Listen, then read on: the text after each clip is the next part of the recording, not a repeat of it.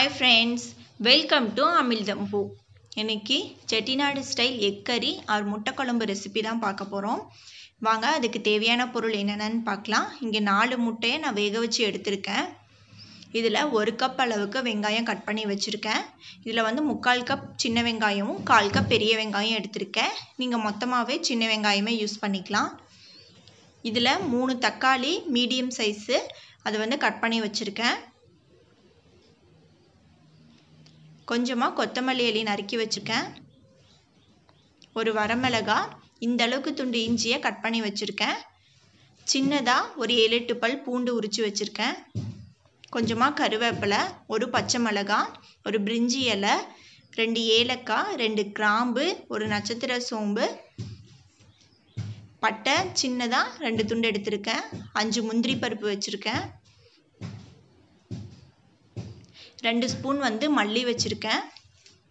ஒரு ஸ்பூன் சோம்பு ஒரு ஸ்பூன் ஜீரகம் அரை ஸ்பூன் மிளகு வச்சுருக்கேன். மசாலாவில் வந்து அரை ஸ்பூன் மிளகாய்த்தூள் கால் ஸ்பூன் மஞ்சள் தூள் கொஞ்சமாக உப்பு வச்சுருக்கேன். தேவையான அளவு எண்ணெய். இதில் வந்து கால் கப் அளவுக்கு துருவின தேங்காய் ஃப்ரெஷ்ஷான தேங்காய் எடுத்துக்கோங்க. வாங்க என் வீடியோவை ஃபுல்லாக பாருங்கள் இதான் முதல் டைம் பார்க்குறீங்கன்னா என் சேனலை சப்ஸ்கிரைப் பண்ணிவிடுங்க இப்போ அடுப்பில் கடாய் வச்சு ஒரு ஸ்பூன் அளவுக்கு எண்ணெய் சேர்த்திக்கோங்க. எண்ணெய் சூடானதும் ரெண்டு ஏலக்காய் ரெண்டு கிராம்பு ஒரு நட்சத்திர சோம்பு பட்டை. நம்ம எடுத்து வச்சுருந்த கொத்தமல்லி மிளகு சோம்பு சீரகம் முந்திரி பருப்பு எல்லாத்தையுமே சேர்த்தி மித லோ ஹீட்லேயே வச்சு குக் பண்ணுங்கள் கரிஞ்சு போகாமல் பார்த்துக்கோங்க நான் வந்து ஒரு வர மிளகா சேர்த்துருக்கேன். நம்ம எடுத்து வச்சுருக்க இஞ்சி பூண்டு அதையும் சேர்த்தி நல்லா வதக்கிக்கோங்க. லோ ஹீட்லேயே குக் பண்ணுங்கள் இல்லைனா கரிஞ்சு போயிடும்.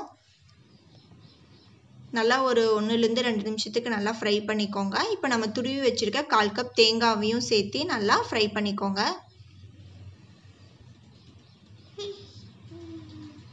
போதும். நான் அடுப்பை ஆஃப் பண்ணிட்டேன். இது ஃபுல்லாக ஆறட்டும். நான் மிக்சி ஜாரில் சேர்த்துட்டு இது ஆறட்டும். அதுக்கப்புறமா நம்ம தண்ணி சேர்த்து நல்லா அரைச்சிக்கலாம். இப்போ நம்ம வேக வச்ச முட்டை எடுத்து இந்த மாதிரி கத்தியில் அங்கங்கே கொஞ்சம் கட் பண்ணிக்கோங்க.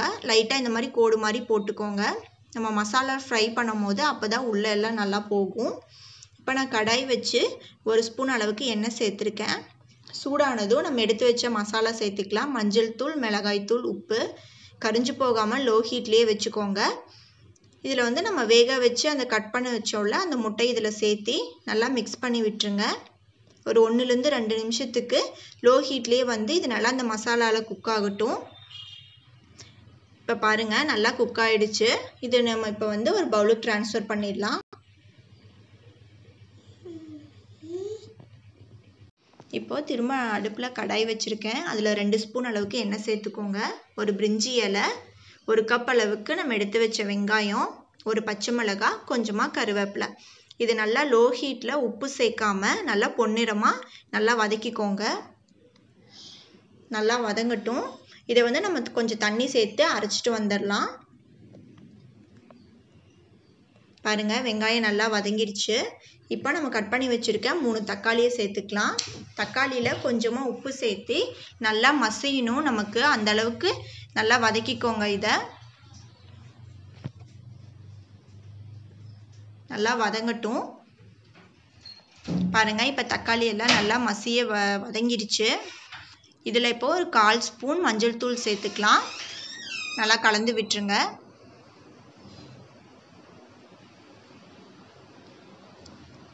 இப்போது நம்ம செட்டிநாடு மசாலா அரைச்சி வச்சுருந்தோம்ல அது எல்லாத்தையுமே இதில் சேர்த்துக்கலாம்.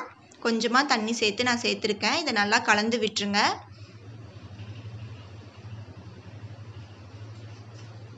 இது வந்து ஒரு லோ ஹீட்லேயே வந்து மூடி வச்சு அந்த மசாலாவோட வாசனை போகிற அளவுக்கு நல்லா வதக்கிக்கோங்க. இப்போ ஒரு பாதி அளவுக்கு அந்த மசாலாவோட வாசனை போயிடுச்சு. இப்போ வந்து நான் ஒரு ரெண்டுலேருந்து ரெண்டரை கப் அளவுக்கு தண்ணி சேர்த்துக்கிறேன். தண்ணி சேர்த்து நல்லா கலந்து விட்டுருங்க. இது நல்லா கொதிக்கட்டும். நல்லா ஓரளவு கொதித்ததும் தேவையான அளவு உப்பு சேர்த்துருங்க. திரும்பவும் அந்த மசாலாவோட எல்லா வாசனும் போகிற அளவுக்கு நல்லா கொதிக்க வச்சுடுங்க நான் உப்பு கொஞ்சம் பத்தலை அதனால் இன்னும் கொஞ்சம் சேர்த்துக்கிறேன். நான் முன்னாடியே வந்து மிளகாத்தூள் சேர்க்கணும்னு சொல்லிட்டு தான் ஒரு மிளகா மட்டும்தான் அரைக்கிறதுக்கு நான் போட்டிருந்தேன். நான் மறந்துட்டேன். அதனால் நான் இப்போ வந்து ஒரு அரை ஸ்பூன் அளவுக்கு மிளகாத்தூள் சேர்த்துக்கிறேன். இது நல்லா கொதிக்கட்டும். பாருங்கள் இந்த அளவுக்கு நல்லா கொதித்ததும் நம்ம ஃப்ரை பண்ணி வச்சுருக்க முட்டையை இதில் சேர்த்துக்கலாம். இதை வந்து நல்லா மூடி வச்சு மீடியம் ஹீட்டில் வந்து அந்த எண்ணெயெல்லாம் பிரிஞ்சு வர அளவுக்கு நம்ம குக் பண்ணிக்கலாம். பாருங்கள் இப்போ ஓரத்தில் அந்த எண்ணெயெல்லாம் நல்லா பிரிஞ்சு வந்துடுச்சு. அவ்வளோதான் இப்போ ஃபைனலாக வந்து நம்ம கொத்தமல்லி இலையை கட் பண்ணி வச்சுருக்கிறது சேர்த்துக்கலாம். இது நல்லா கலந்து விட்டுருங்க. அவ்வளோதான் ரொம்ப சூப்பரான நம்ம முட்டை குழம்பு ரெடி ஆயிடுச்சு. நான் இப்போ அடுப்பை ஆஃப் பண்ணிடுறேன்.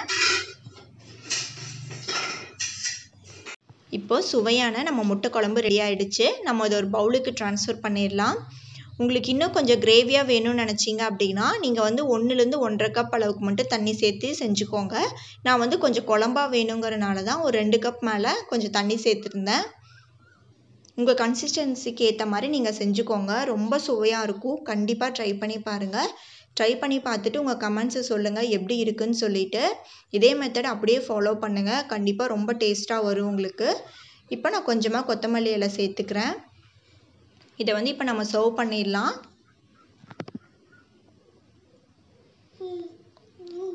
இப்போ நான் ஒரு பிளேட்டில் சர்வ் பண்ணியிருக்கேன். ரைஸு நம்ம முட்டை குழம்பு ஃபிஷ் ஃப்ரையும் அதுக்கு வந்து லெமனும் ஆனியனும் வச்சு சர்வ் பண்ணியிருக்கேன். சூப்பரான லஞ்ச் ரெடி ஆகிடுச்சு தேங்க்ஸ் ஃபார் வாட்சிங் உங்களுக்கு இந்த வீடியோ பிடிச்சிருந்துச்சுன்னா கண்டிப்பாக லைக் பண்ணுங்கள் ஷேர் பண்ணுங்கள் என் சேனலுக்கு சப்ஸ்கிரைப் பண்ணலன்னா சப்ஸ்கிரைப் பண்ணிவிடுங்க